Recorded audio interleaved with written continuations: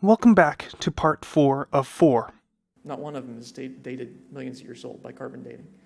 Lots of things like that. You tend not to hear about these in the uh, secular school system, uh, sadly. But there are all kinds of physical processes that. All right, let's have a quick look at this slide here.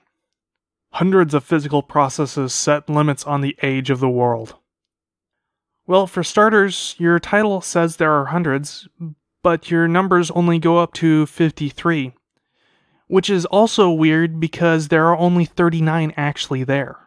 Also, I don't see anything actually on this list that would in any way limit the age of the Earth. But I do see some weird things on this list that I want to point out real quick.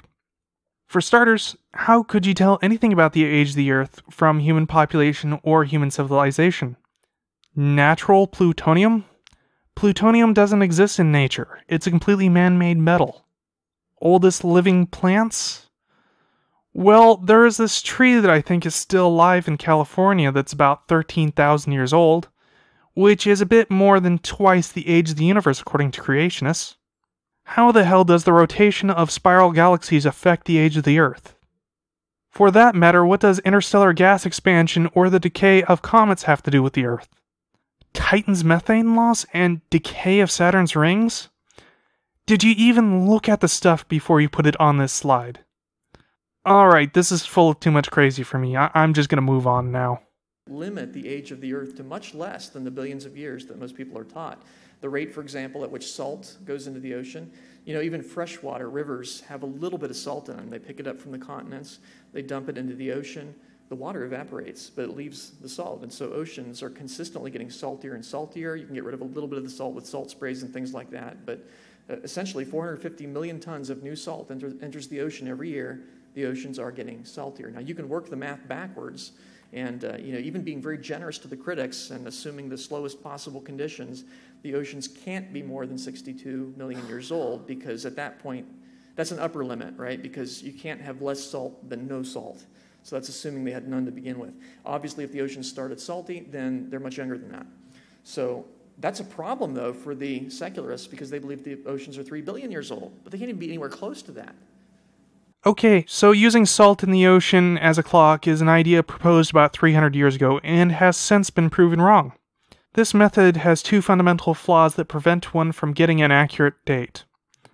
First off, there is no way to tell how salty the ocean started out as, so you have no baseline.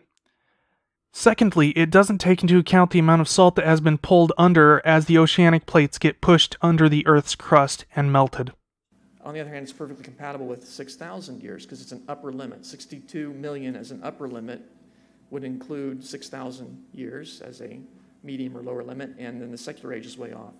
Scientists have long since abandoned this method of determining the Earth's age at all because of the aforementioned reasons. Likewise, for the accumulation of mud on the ocean floor. I would like to point out that your own slide shows that your argument is already wrong. You, you measure the amount of mud that's there, you measure the rate at which it accumulates, you find it takes less than 12 million years at present rates. And that assumes there was no worldwide flood, which would dump mud on the ocean floor very quickly. That also assumes there's no subducting plates, like your slide showed, to pull the mud under the Earth's crust.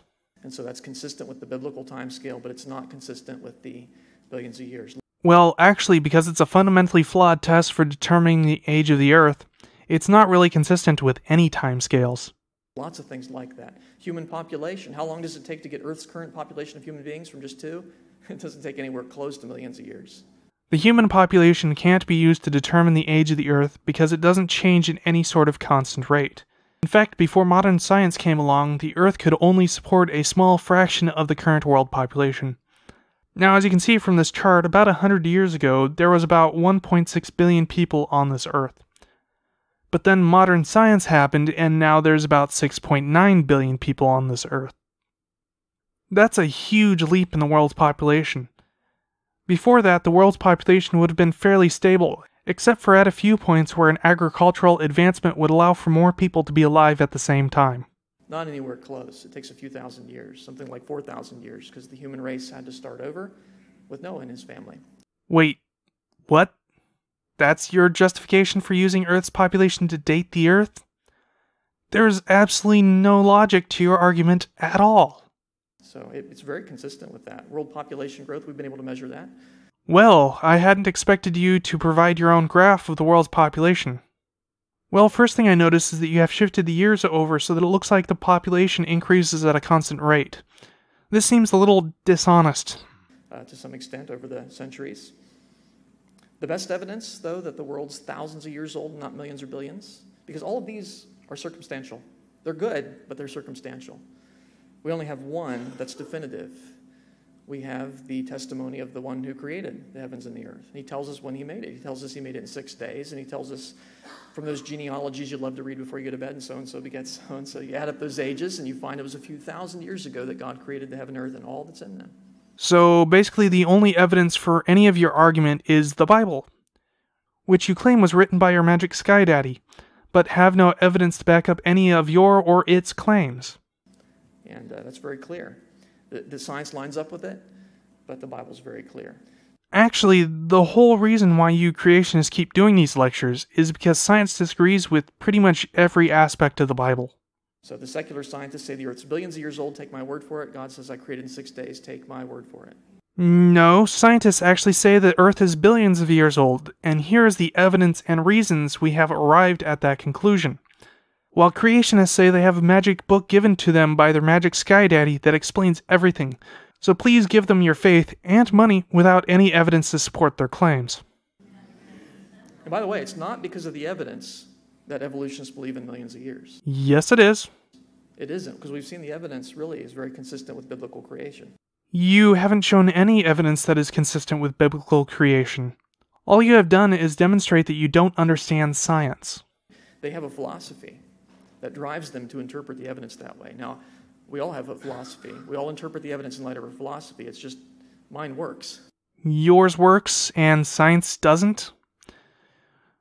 Well, let's take a moment to think about that.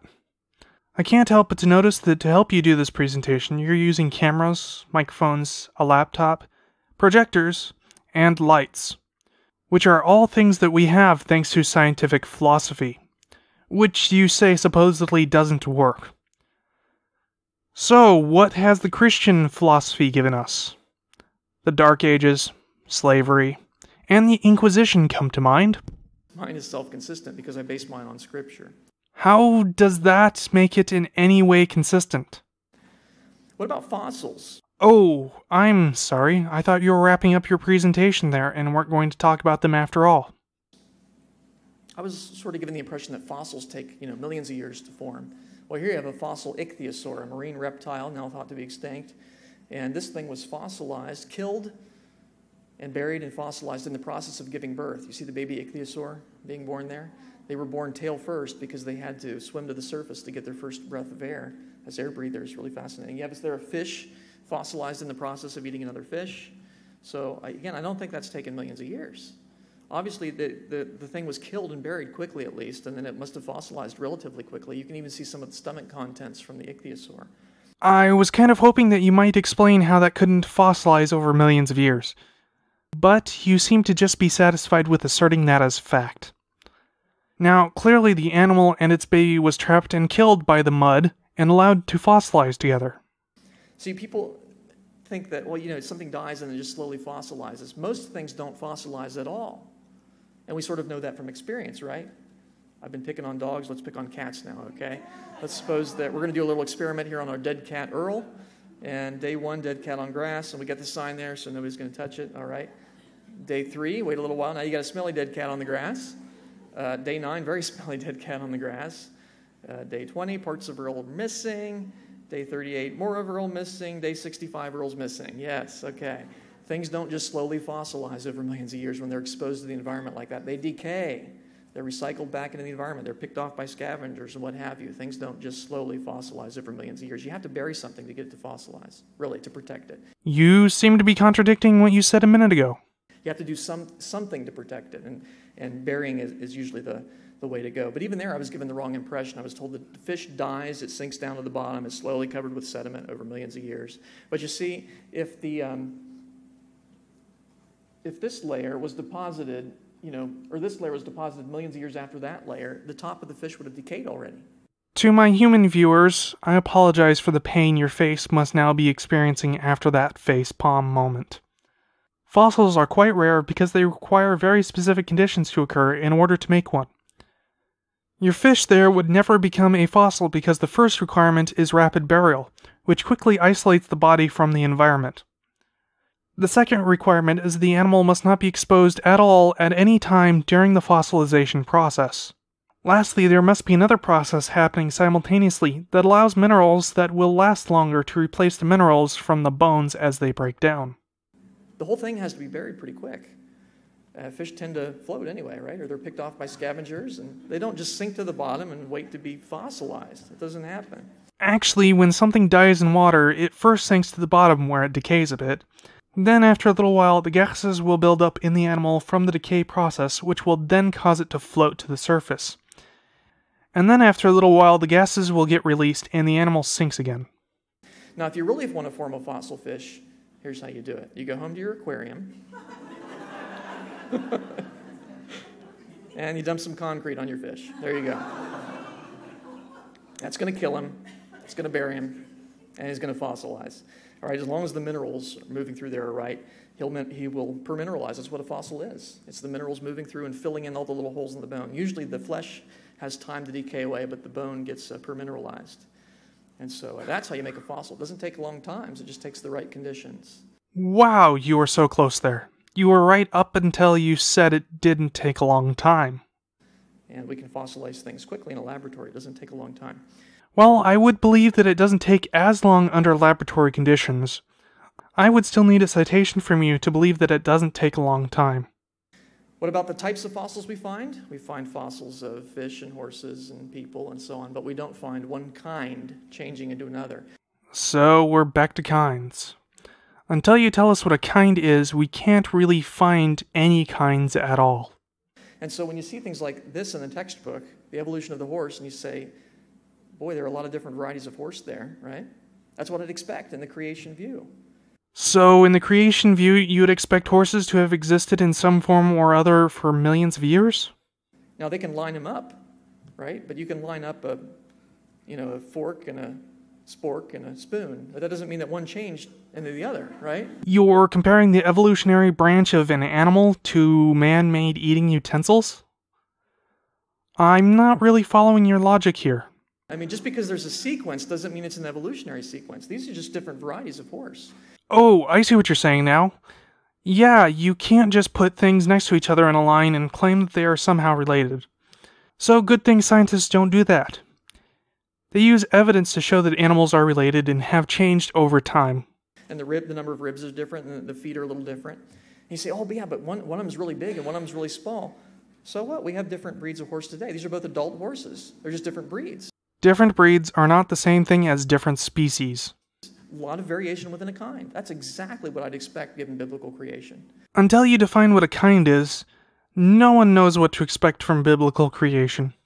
The kinds of fossils that we find are exactly what we'd expect given the variation within the kind that the Bible teaches. I'm not an expert on horses, but that looks like a list of breeds to me. But since you started off with a picture of different species, I think you're trying to confuse the two together and make us think that the previous slide either showed different breeds or this one shows different species.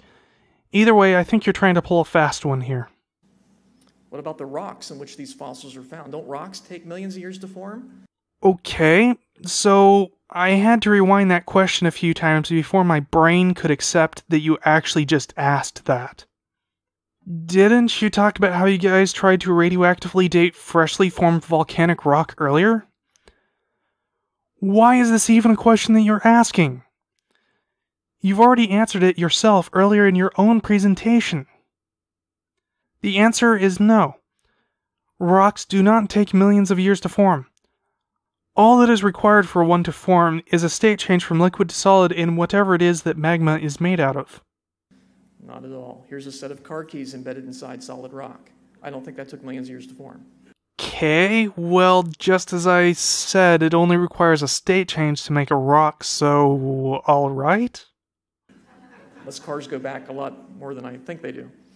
Uh, here's a man made clock embedded inside solid rock. How about that? Okay, we've already established that rocks can form very quickly, so what's your point? I don't think that took millions of years. Well, surely all these layers of rock shown here took millions of years. There's a person down there at the bottom for scale. See that? Ah, okay. You're trying to conflate rocks and rock layers as being the same thing. They aren't.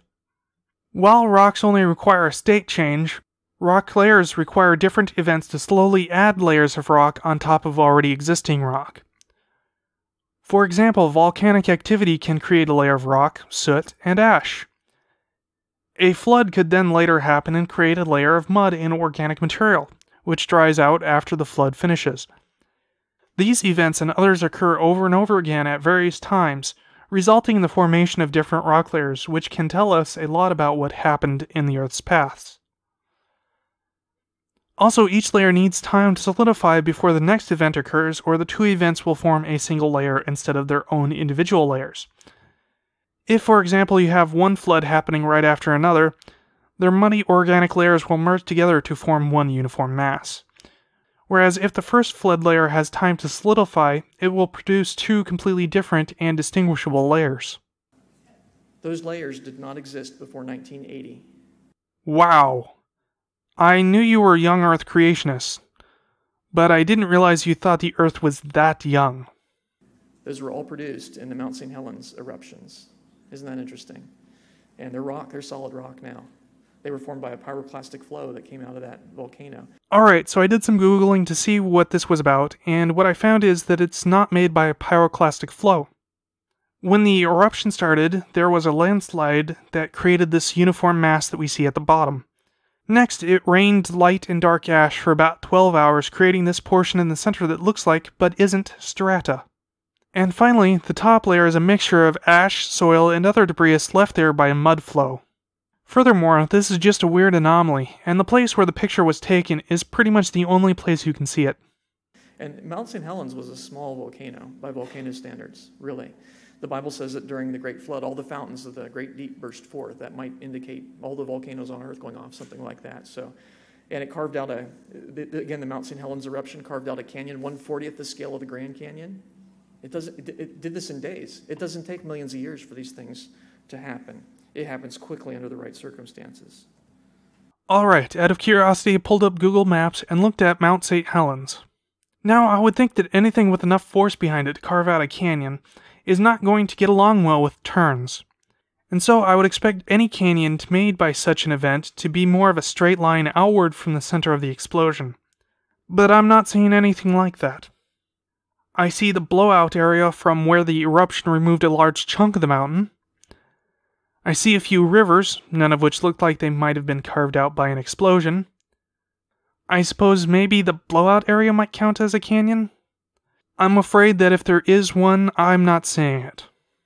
So after that, I took another look at the picture you show, and that doesn't look like it was carved out by an explosion either. Not only is it turning, but it also appears to be joining up with another canyon, which makes me think this canyon was actually carved out by a river. Now, I'm not a geologist and can't really tell what I'm looking at, and I would normally give a person the benefit of the doubt, but throughout this presentation, you've pretty much lied about almost everything. So I'm afraid I can't give you the benefits of any doubts about this picture. So you see, when we take a look at geology and we see how these rock layers form today, and we see how they can form under catastrophic conditions, we find that it's really very consistent with what we'd expect from Genesis. Asserting that doesn't make it true. If anything, what has been demonstrated here is the exact opposite. What do the rocks really mean? They don't really indicate millions of years of evolution. What they really teach us is repent. Wow, that's complete non sequitur. Those two things literally have nothing to do with each other. They tell us that God judges sin. How do rocks tell you that God judges sin? That's what all these fossils indicate. That, they indicate that there was a worldwide flood. How do fossils indicate that there was a worldwide flood? You haven't demonstrated a way by which all the fossils could be produced by a flood. And that's, that was made necessary because God is a righteous God and he judges sin. He is just. Another complete non sequitur. He is righteous. He's also merciful and he provided the way of escape. You say that after just literally talking about the flood. And that was what the uh, ark was all about, right? The ark was the way of escape. Only for Noah's family and some animals. Noah was a preacher of righteousness. I'm sure he was preaching, come on board the ark and be saved. No, God told them the very select few who could be saved. Everyone else never got the option. And yet, only a very few people, only his own family, heeded that call. No, they were the only ones allowed to go aboard the ark. And I think it's interesting, too, that God was the one that closed the door. God was the one that decided time of mercy over time of judgment now. That door was already closed to everyone before Noah even built the ark. And that opportunity is uh, slim for everyone because God gives us so many years to uh, receive Him, to repent of our sin, and receive Him, and then that door closes. He expects us to make that decision completely uninformed about it. And the moment we actually have all the facts, it's too late. Well, this it's you know it's so important to learn about this stuff because this will come up. You know, in, in conversations with people, people will ask about Genesis and can you really defend it and so on. And so for that reason, we have lots of wonderful resources that I encourage you to check out on the tables out there. One that covers just everything I covered today. And now we have come to the real reason for this presentation to shill your pseudoscience onto the masses. But I'm not going to let you shill your garbage on my channel. So now we have come to the end and finally finished. So I hope you guys got something useful out of this, and with that, I'm going to sign off.